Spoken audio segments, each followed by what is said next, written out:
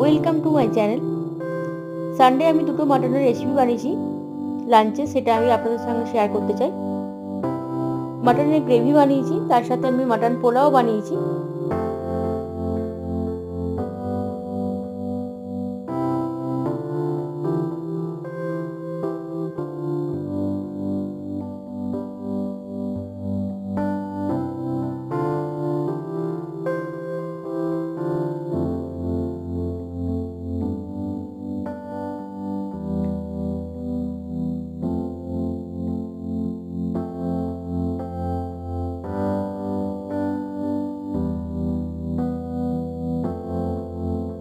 আমি মাটন গ্রেভিটা বানাবো।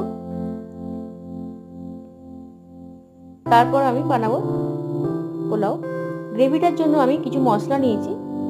এটা দেখাচ্ছে জায়ফল জৈত্রী গোটা জিরে, গোটা ধনে। এই মশলাগুলো আমি রোস্ট করে নেব হালকা। করে নিয়ে আমি এটা মিক্সার গ্রাইন্ডে গুঁড়ো করে নেব। মশলাটা আমি গুঁড়ো করে নিয়েছি।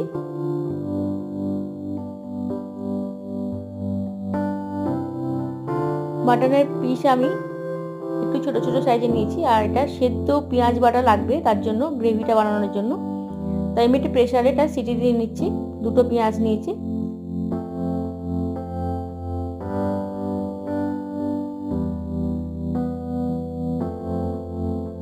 পেঁয়াজটা আমি বেটে নেব ভালো করে।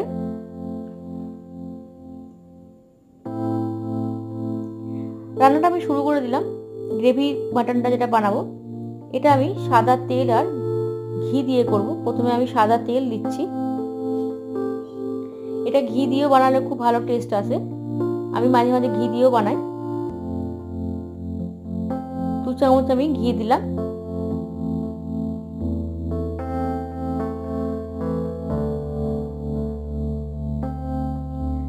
ঘিটা গলে যাওয়ার পর আমি পেঁয়াজ কুচুনো দিলাম। দুখানা পেঁয়াজ আমি কুচিয়ে রেখেছিলাম। সেই পেঁয়াজটা আমি দিয়ে দিলাম।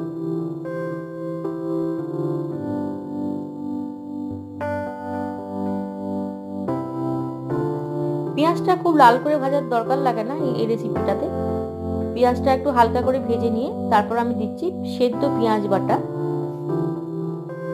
যেটা আগে বানিয়ে রেখেছিলাম। একটু নাড়াচাড়া করে নিতে হবে।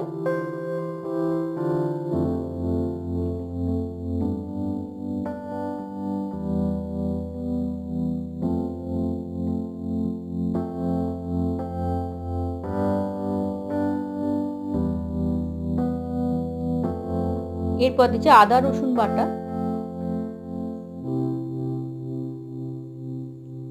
দিয়ে খানিকক্ষণ নাড়াচাড়া করে তারপর আমি মাটনটা দেব।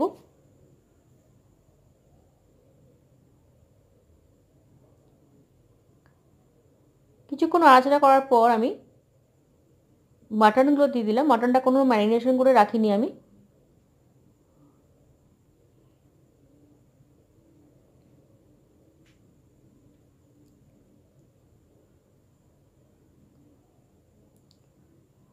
মাটনটা দিয়ে পেঁয়াজ, রসুন, আদা বাটার সঙ্গে ভালো করে মিশিয়ে নিতে হবে।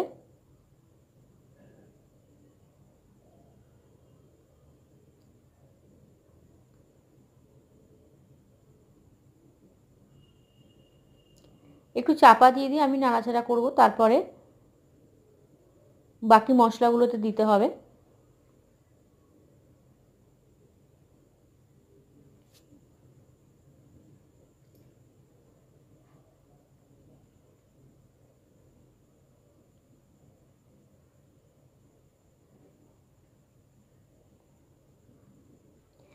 এরপর আমি আগে গুঁড়ো করে রাখা মশলাটা আমি দিয়ে দিলাম।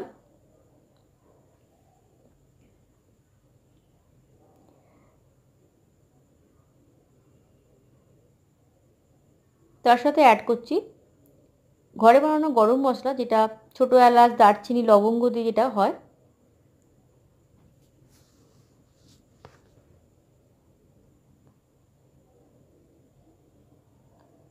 নুন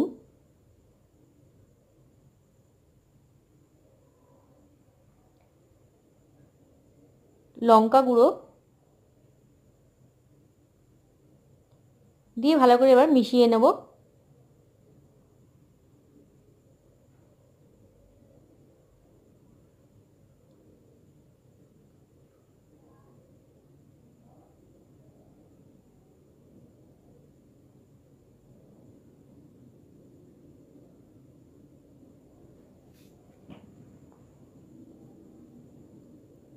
একটু চাপা দিয়ে দিয়ে করলে তাড়াতাড়ি কষাটা হয়। তাই আমি চাপা দিয়ে দিয়ে করছি এটা মশলাটা কষার জন্য।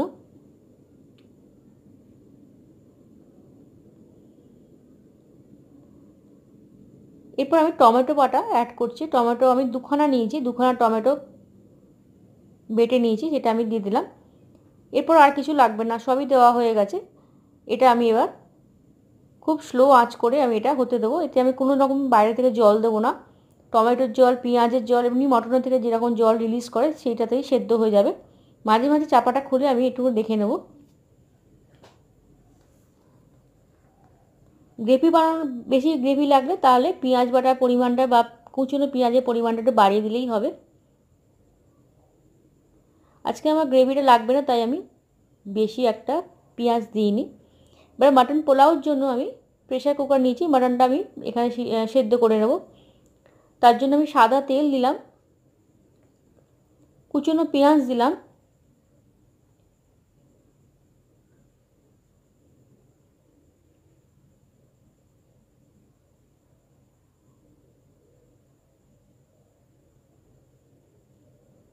পেঁয়াজটা একটু নাড়াচাড়া করে নিতে হবে ভালো করে। ওদিকে একটু মাটনটা উল্টে দেবো, যেহেতু আমি জল দিইনি, তাই মাঝে মাঝে খুলে একটু উল্টে দিতে হবে। যাতে পুরো পোর্শনটাই সেদ্ধ হয় ভালো করে।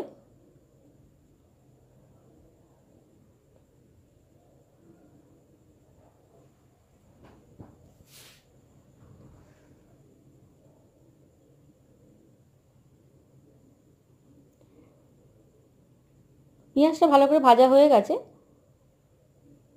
এবার আদা রসুন বাটা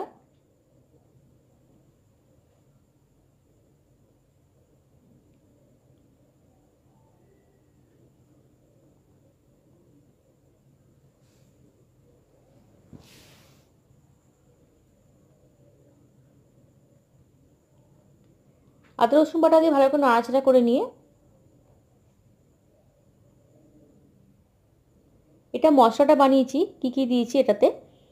জিরে, ধনে, জায়ফল জৈত্রী স্টার আনিস, মৌরি আর গরম মশলার মধ্যে দারচিনি, লবঙ্গ আর ছোটো এলাচ। এটাকে একটু ভালো করে রোস্ট করে নিয়ে আমি ভালো করে গুঁড়ো করে নিয়েছি। সেই মশলাটা এতে আমি দেব পোলাওতে। এটা মৌরি একটু দিলে একটু আলাদা ফ্লেভার আসে, খুব ভালো। মৌরিটা খুব মটনটা দিয়ে দিলাম। এই সময় আমি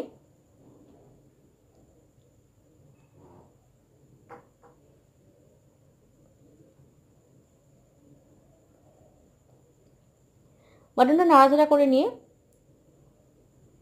এরপর আমি সেই মশলাটা যেটা বানিয়ে রেখেছিলাম, সেই মশলাটা আমি এখন দিয়ে দিলাম।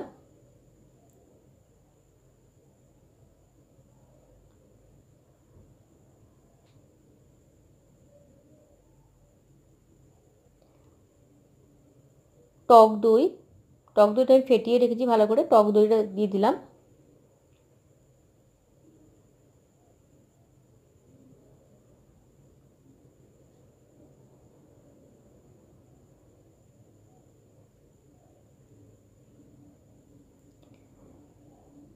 নাড়াচাড়া করতে করতে আস্তে আস্তে যখন তেল ছেড়ে আসবে, তখন আমি এটা সেদ্ধ করতে দেব। কাশ্মীরি লঙ্কা গুঁড়ো দিলাম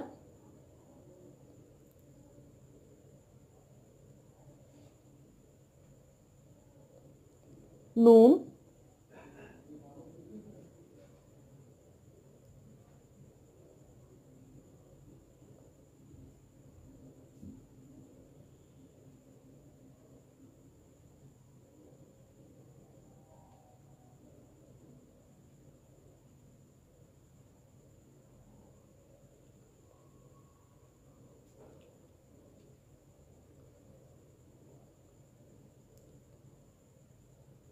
এবার আমি কাঁচা লঙ্কা অ্যাড করছি এতে।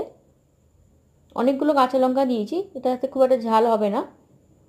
কাঁচা লঙ্কার ঝালটা খুব কম আছে, এতে তাই আমি অনেকটাই দিলাম।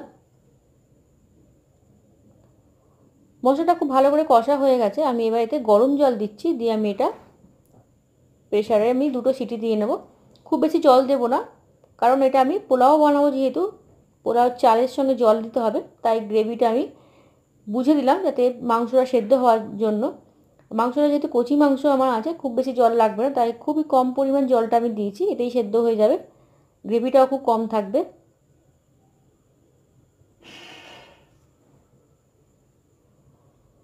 ওদিকে আমার সেদ্ধ হতে দিয়েছি, এদিকে মাংসটা আমার হয়ে গেছে, যে গ্রেভি মাটনটা বানিয়েছি এটা হয়ে গেছে, এটা গ্রেভিটা খুব কম রেখেছি, এটা টেস্টটা খুব ভালো আসে, এটা এইভাবে বানিয়ে দেখবেন। চালটা আমি এক ঘণ্টার মতো আমি ভিজিয়ে রেখেছি জলে।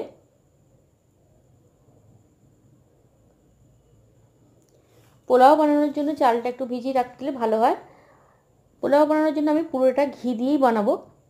তাই আমি ঘি দিলাম কড়াইতে।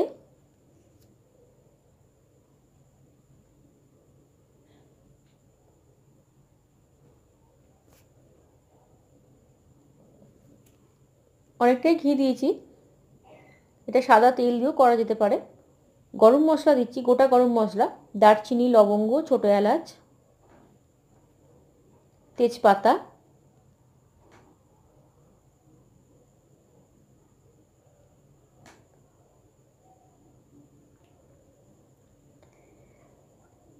এবার আমি মটনগুলো যেটা আমি সেদ্ধ করেছি, সেটা মটনগুলো আমি তুলে নেব, গ্রেভিটা পরে দেব।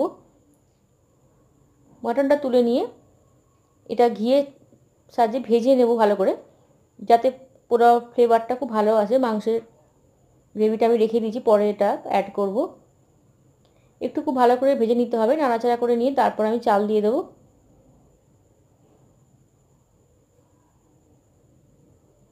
মাংসটা খুব ভালোভাবে সেদ্ধ করতে হবে যাতে গলে না যায়, আবার শক্তও না থাকে, এইভাবে বুঝে নিতে হবে মাংসটা। আমার মাংসটা মাংসটা আমি এমনভাবে সেদ্ধ করেছি, গলে কিন্তু একদম যায়নি বা শক্তও নেই। চালটা এই সময় দিয়ে দিলাম। চালটা ভালো করে ধুয়ে আমি দিয়ে দিলাম।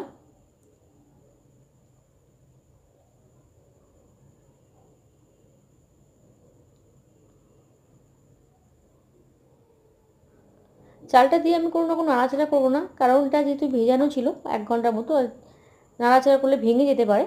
একটু ছড়িয়ে দিয়ে আমি এবার জল দিয়ে দেবো এতে। গ্রেভিটা এই সময় দিয়ে দিলাম। গ্রেভিটা আমি দিয়েছি। চাল যেহেতু ডবল দিতে হয় জলটা, তাই জলটা আমাকে বুঝে দিতে হবে, যেহেতু গ্রেভিটা ছিল একটুখানি, তাই আমি জলের পরিমাণটা একটু কমিয়ে নিয়েছি। যেহেতু চালটা আমি এই জায়গায় মেপে নিয়েছি, তাই আমি এই রকমভাবেই এর সাহায্যে আমি জলটা মেপে দিয়েছি। পোলাওটা যাতে বেশি সেদ্ধ না হয় ঝরঝরের মতো হয়, তাই জলটা খুব ভালোভাবে দিতে হবে বুঝে। এতে আর কিছু দেবো না, আমি নুন দিয়ে দেবো। নুন দিয়ে দিলাম। মাটনটা যেহেতু নুন দিয়েই আমার করা আছে, তাই চাল আর জলটার জন্য আমার নুনটা বুঝে দিতে হবে। এটা এবার সেদ্ধ হতে দেবো।